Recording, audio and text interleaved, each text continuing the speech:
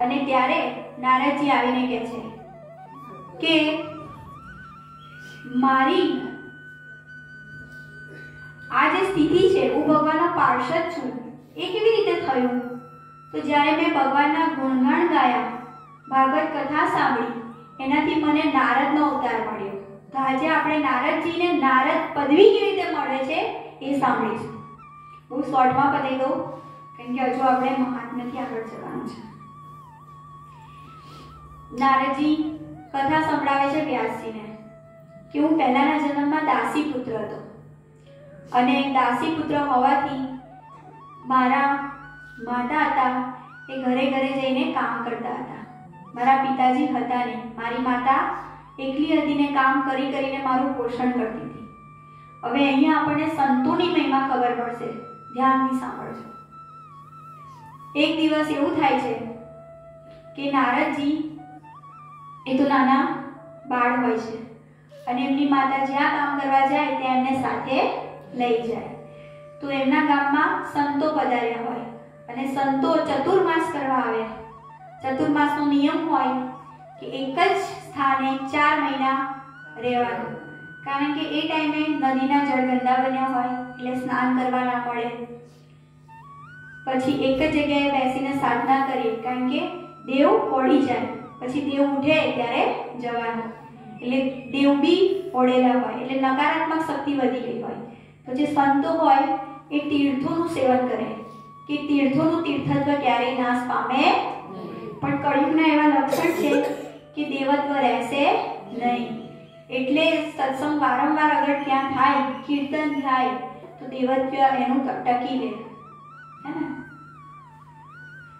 તો નારદજી કહે છે કે ચતુર્માસ કરવા સંતો આવ્યા હતા. અને ત્યાં મારી માએ સેવા લીધી કે હું તમારું કામ કરીશ. ભલે મને કંઈ ના આપતા, પણ મારા છોકરાને થોડું તમારો જે પ્રસાદ હોય એ આપી દેજો. તો આવી માતા છે જે છોકરાનું પહેલાં વિચારે છે. અને સંતો ત્યાં જ જે પ્રસાદી બને એ નારદજી એ ઉચ્છિષ્ટ પ્રસાદી લે શીર પ્રસાદી કહેવાય. જ્યારે સંત જમે ને એ પ્રસાદી કેવી થઈ જાય? શીર. આમ લખ્યું છે ગીતામાં કે કોઈને આપણું એઠું ખવડાવાય પણ જો સંત હોય, એની પ્રસાદી મળી જાય, તો એમના જેવા સંસ્કાર આપણામાં આવી જાય. એટલે સંતોના પ્રસાદની મહિમા છે. કારણ કે એમના મોઢામાં સતત નામ ચાલતું હોય. તો જીવા કેવી બની જાય? ગંગા સમાન. એટલે એક પણ એમના મોઢામાંથી વાક્ય નીકળી જાય. પછી છો ને કેટલાય જન્મના પ્રારબ્ધ હોય, પણ એ પૂરું ભગવાનને કરવું જ પડે. અહમ ભક્ત પરાધીન. મેં ભક્ત કે આધીન. તો નારદજીનો આ ક્રમ થઈ જાય. સંતો રોજ સત્સંગ કરે, નારદજી સાંભળે. તો સત્સંગની તો કેવી મહિમા છે?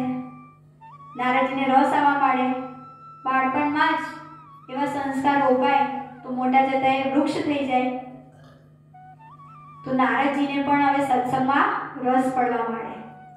નારદજી કહે છે કે મને આ સંતનો સંગ બહુ પ્રિય લાગે છે અને એમની સેવા કરવાની મને બહુ ગમે છે. ચતુર્માસ આમ કરતા કરતા પૂરો થઈ જાય. સંતો હવે એમના આગળના કાર્યમાં લાગી જાય. તો નારદજી રડે છે અને કહે છે, તમે છોડીને જશો મને પણ તમારો રંગ લાગ્યો છે, મને પણ સાથે લઈ જાઓ. ત્યારે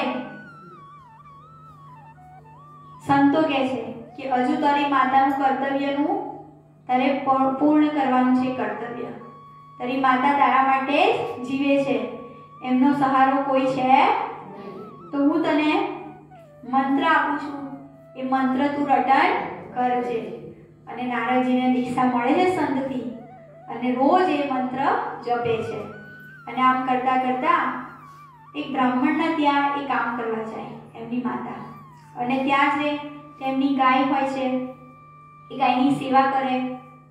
અને ગાયની સેવા કરે અને એવી રીતે રોજ અવક્રમ થઈ જાય. અને જે દૂધ હોય એ પ્રસાદીમાં ભગવાનને ચડાવે. અને પછી નારાજને એમાંથી એ દૂધ મળે. અને આવી રીતે રોજ એમની માતા કામ કરે. અને એક દિવસ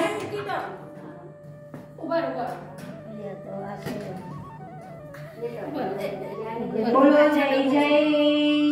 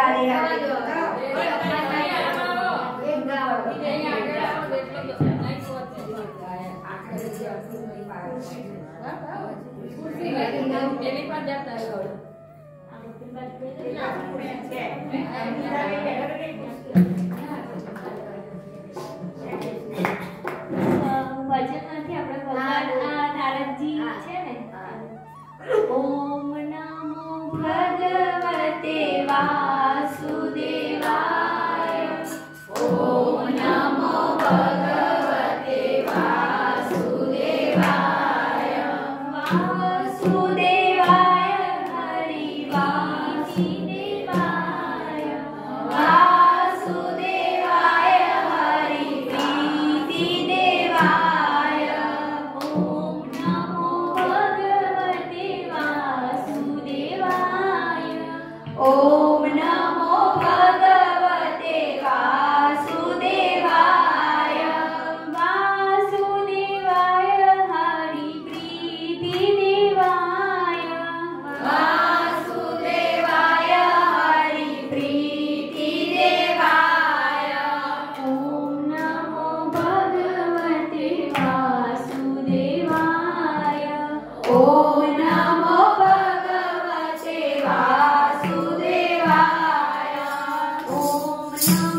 time.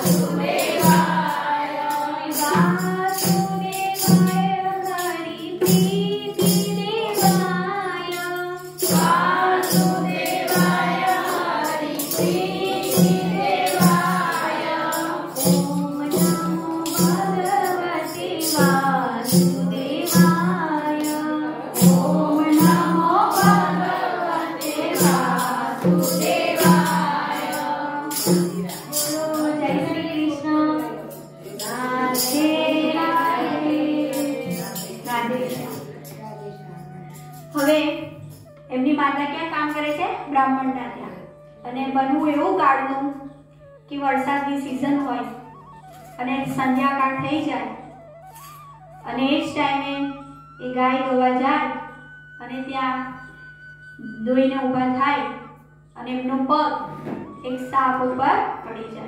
સાપનો ડંખ વાગે અને ત્યાંનું ત્યાં એમનું મૃત્યુ થાય.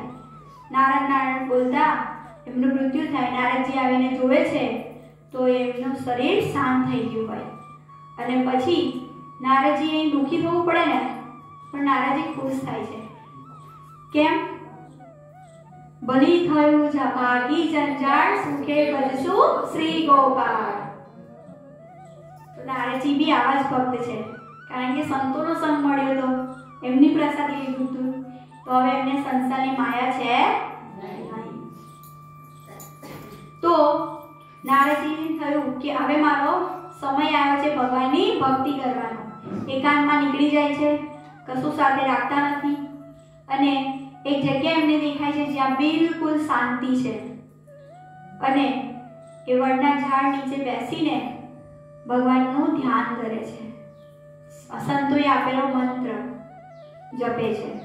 અને જપતા જપતા એમની સ્થિતિ એવી આવે છે કે ખાવાનું અને પીવાનું ભૂલી જાય. અને ત્યાં જ આકાશમાંથી આકાશવાણી થાય કે આ જન્મમાં હું તને મળીશ નહીં. આના માટે તારે બીજો જન્મ લેવો અને ભગવાન એવું કહીને જતા રહે અને આંખો ખોલે તો આજુબાજુ કોઈ દેખાય નારાજી ફરી ધ્યાનમાં બેસે અને ત્યાં જ વીજળી પડે અને એમનું મૃત્યુ થાય. હવે નારાજી આગળના લોકમાં ગતિ કરે છે. ભગવાનનું નામ જપ કર્યું છે. સત્સંગ સંગોનો, સંતોનો મળ્યો છે.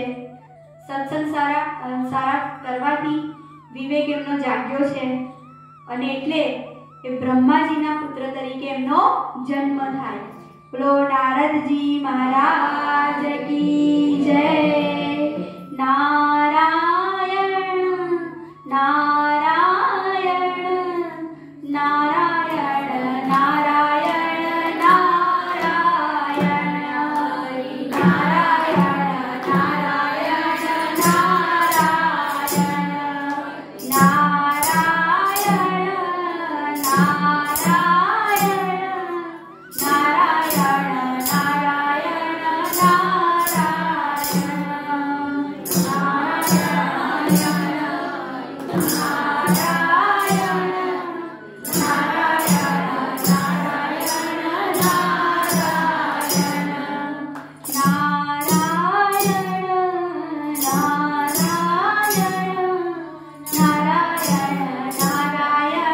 God.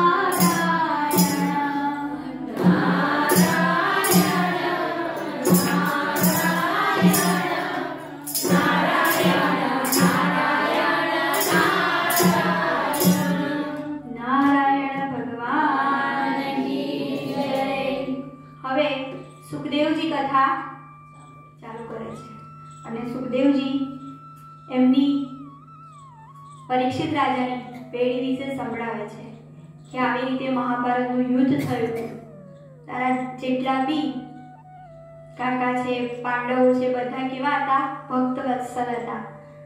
જેમને આવું બધું કર્યું હતું અને ભગવાનને મેળવ્યા હતા. અને ભગવાન એમને છોડીને જતા નથી. અને એક વાત, એ કથા કહે છે કે જ્યારે ભીષ્મ પિતામાં પાકની સૈયા પર કેવી રીતે પડ્યા અને જન્મ એમનો કઈ રીતે થયો? ગઈકાલે જ આપણે જોયું હતું, અશ્વત્થામાએ કેવી રીતે બ્રહ્માસ્ત્ર છોડ્યું અને પરીક્ષિત રાજાનો જન્મ થયો. તો જ્યારે ભીષ્મ પિતામાં બાણની સૈયા પર સૂતા હતા તો એમને એવા કેવા કર્મ કર્યા હશે? કે એમને બાણની સૈયા પર સૂવું પડ્યું? તો આ બાજુ ભીષ્મ પિતામાં કુરુક્ષેત્રમાં બાણની સૈયા પર સૂતા છે. અને યુધિષ્ઠિરજી યુદ્ધ પત્યા પછી પશ્ચાતાપ કરે છે. કે મેં બહુ ખોટું કરી નાખ્યું. કારણ કે યુદ્ધ કર્યા પછી શાંતિ મળે એટલે છોડવું સારું. પણ એ છોડવું અંદરથી થવું જોઈએ. ત્યારે તો એવું દેખાય કે આ પાર આ પાર કે પેલે પાર. ભગવાને કીધું હતું કે યુદ્ધ થશે ને, દ્રૌપદીને કીધું હતું યુદ્ધ થશે તો કોઈ બાકી રહેશે નહીં. પણ બધી ગુસ્સામાં એને બધી પ્રતિજ્ઞા બધાએ લઈ લીધી ભીમે લઈ હતી કે હું દુર્યોધનની જંઘા તોડીશ અને એનું રક્ત જ્યાં સુધીને દ્રૌપદીના વાળમાં નહીં લગાવું, ત્યાં સુધીને મારી પ્રતિજ્ઞા છે. દ્રૌપદીએ પ્રતિજ્ઞા લીધી હતી કે જ્યાં સુધીને આ દુષ્ટ મળશે નહીં, દુશાસન, ત્યાં સુધીને હું વાળ નહીં માનું હવે પ્રતિજ્ઞા ક્ષત્રિયોની પૂરી ના થાય, તો એ લોકોને બી નરક વાસના થાય. તો બધા જ પોતાની પ્રતિજ્ઞાથી બંધાયેલા છે. ભગવાને તો પણ વિચાર્યું કે લાય આ આટલો મોટો રણ સંગ્રામ ના થાય બચાઈ લો. તો ભગવાન પોતે દૂધ બનીને ગયા. પણ અજ્ઞાનનો અંધકાર હોય ત્યાં ભગવાન દેખાય જેમ પાણી ઉપર લીલ બાજી જાય તો ભગવાન દેખાય. અંદર પાણી ચોખ્ખું દેખાય. તો દુર્યોધનને બી ભગવાન માયાવી લાગે છે. કીધું કે હું તો સ્વાયની અણી જેટલો પણ ભાગ આપીશ. પાંચ ગાવ તો આપીશ જ નહીં પણ સ્વાયની અણી જેટલું પણ આપીશ. પણ યુદ્ધ પતી ગયું છે. બધી જ જગ્યાએ લાશો જ લાશો દેખાય છે. યુધિષ્ઠિરજી જોવા નીકળે છે. મેં આખું જીવન ધર્મપૂર્વક જીવ્યું. બધું છોડી દીધું હોત તો સારું થાય ભગવાન કહે છે કે તે તો ક્ષત્રિયનો ધર્મ નિભાયો છે. તે કંઈ ખોટું કર્યું?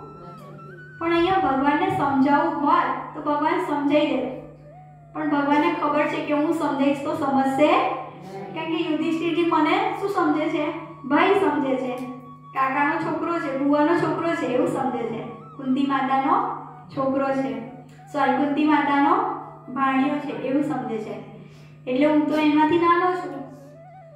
એટલે હું અહીંયા સમજાઈ શકીશ નહીં. તો મોટા સમજાઈ શકે. તો એટલા માટે બે કામ ભગવાન કરે છે.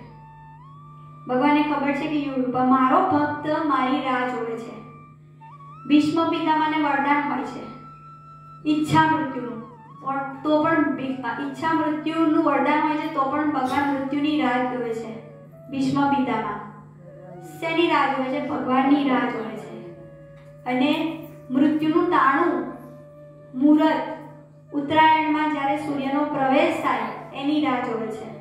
અને મૃત્યુ સ્વીકારતા, પીડા સ્વીકારે છે. ખબર છે કે મારા પ્રભુ છે એ આવશે ને આવશે જ. તો ભગવાને અહીંયા લીલા કરી. યુધિષ્ઠિર ચર્ચીને કહે છે કે ચલો હું લઈ જાઉં અને તમને ધર્મનો ઉપદેશ અપાવું. અને બધા જ જાય છે પાંડવો. કોની પાસે? ભીષ્મ પિતામાં પાસે. ભીષ્મ પિતામાં કહે છે કે ધર્મ શું છે? રાજનીતિ શું છે? કે કંઈ ખોટું કર્યું નથી. જો ખોટું કર્યું હોત તો આ કૃષ્ણ છે ને? સાથે હોત પૂછે છે કે અર્જુન અહીંયા અર્જુનને બોલાવે છે. કે આજે તારી જોડે ઉભેલા છે? એમને તું શું સમજુ છું? કે મારા સખા છે. મારા ભાઈ છે. તો કે બસ એટલું સમજ્યો? કે તમને ખબર નથી આ જે છે એ નારાયણ છે. સ્વયં આ ચૌદ બ્રહ્માંડનો માલિક છે. બધાને ચૌદ ભુવનના રાજા છે. આ બધું જ ચલાવનારા છે. તો કે શું બની લીધા એક ક્ષણે તારા સાથી બની લીધા તારા માટે ભગવાને શું શું નથી કર્યું? બધું જ કર્યું. પણ તું હજુ સમજ્યો કે આ સ્વયં ભગવાન છે, દ્વારકાધીશ છે. અને પછી ભગવાન કહે છે કે કામની શરણમાં જશો. તો તમને મુક્તિ મળશે. અમની શરણ ગયા વગર તમને મુક્તિ મળવાની નથી. ઇવન અક્ષય પાત્ર જે હોય છે, એમાં એક બી દાણો નહોતો ખાલી એક દાણો ચોટ્યો હતો. અને એ ભગવાને શોધીને જ્યારે અંદર ગ્રહણ કર્યો, તો બધા જ તૃપ્ત થઈ ગયા. આખું બ્રહ્માંડ તૃપ્ત થઈ ગયું. અને જે દુર્વાસા ઋષિ શાપ આપી દે. દુર્યો દુર્યોધને એવા જ ઈરાદાથી મોકલેલા. પણ જેની રાજ હરી રાખે, તેને કોણ ચાખે? ભગવાને પડે પડે તારી રક્ષા કરી છે અર્જુન. એવું ભીષ્મ પિતામાં યાદ કરાવે છે. યાદ કરે લાક્ષાગૃહ. જો ભગવાને વિદુરજીને સમજાયું ના હોત અને વિદુરજીએ એના ગુપ્તચર મોકલ્યા ના હોત અને તમને સંદેશો ના પહોંચાડ્યા હોત અને ભગવાને જો તમને પહેલેથી કીધું ના હોત તો તમે લાક્ષાગૃહમાંથી બચી શકે ત્યારે પછી આપણે આપણું ફ્લેશબેક કરીએ ને અને જોજો બધાના જીવનમાં બીતેલા એવા દિવસો. તો યાદ આવશે કે ભગવાને જ મદદ કરી શ્રી હરિ શરણમ હરિ શરણમ હરિ શરણમ શ્રી હરિ શરણમ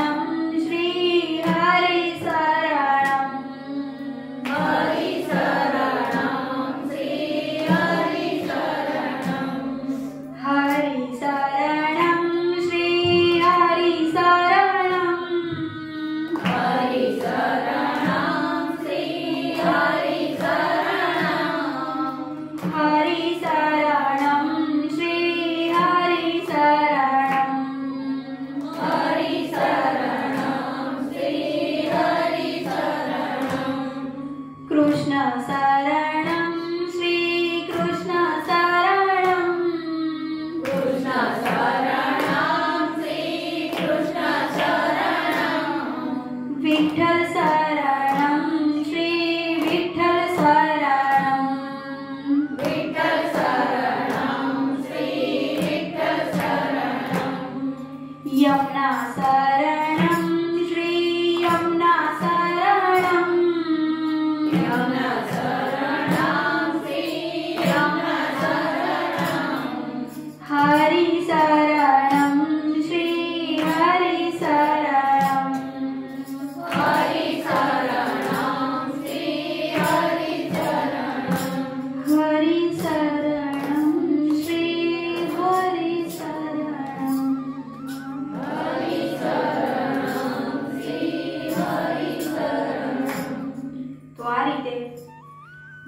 પિતામાં યાદ દેવડાવે કે ભગવાને તમને છોડ્યા કારણ કે તમે હરિની શરણ લીધી એટલા માટે. તો આપણે બી કોની શરણ લેવાની? હરિ. અને ભીષ્મ પિતામાં પછી યુધિષ્ઠિરનો શોક દૂર કરે. અને ભીષ્મ પિતામાં કૃષ્ણને પૂછે કે, ભગવાન, મારા એવા તો કેવા કર્મ છે? મેં વિચાર્યું ત્યાં સુધી ને મારું કોઈ બી કર્મ એવું નહોતું કે મારે આ બાણની સૈયા પર સૂવું પડે ત્યારે ભગવાન યાદ દેવડાવે. કે એક જન્મ તમારો એવો હતો, જ્યારે તમે રથ ઉપર સવાર થઈને જતા હતા અને એક ઝાડ ઉપરથી અજગર નીચે પડ્યો ને તમારા રથમાં પડ્યો તો તમે વિચાર્યા વગર જ એ અજગરને લઈને કાંટોની વાડમાં નાખી દીધો.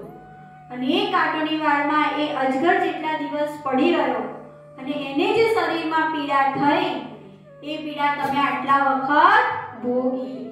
બોલો હરી હરી. અને એટલા માટે તમારે આજે પાકની સૈયા પર સૂવું ભીષ્મ પિતામાં કોઈ સામાન્ય નથી. બાર મહાભાગવતોમાં એક મહાભાગવત છે. અને ભગવાનના પરમ ભક્ત છે. ઉદ્ધવરેતા બ્રહ્મચારી છે. એમનું નામ સ્મરણ કરવાથી જ આપણું બ્રહ્મચર્ય તેજ બને. અને એવા ભીષ્મ પિતામાં કૃષ્ણને જ યાદ કરે છે. એમના સિવાય કોઈને યાદ કરતા નથી. હવે અંત ઘડી આવી છે કારણ કે હવે કૃષ્ણ સામે છે. અર્જુને કહે છે કે મારી માં ગંગાને તું પ્રગટ કર અને ત્યાં ગંગા કુરુક્ષેત્રમાં પ્રગટ થાય છે. એને કહેવાય બાણગંગા. અને એ ગંગા માતા ભીષ્મ પિતામાના મોઢામાં પડે. એ પહેલા યુધિષ્ઠિરજી